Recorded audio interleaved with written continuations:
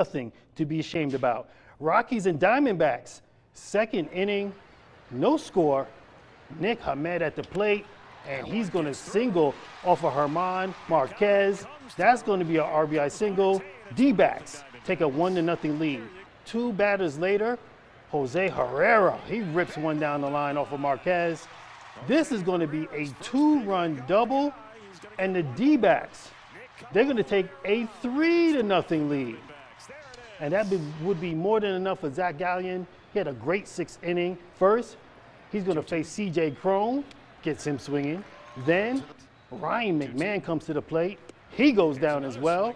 And after that, Brendan Rodgers, he's going to ground out. Gallen, he went seven shutout innings, struck out seven, and the Diamondbacks, they win this one, the final, four to nothing.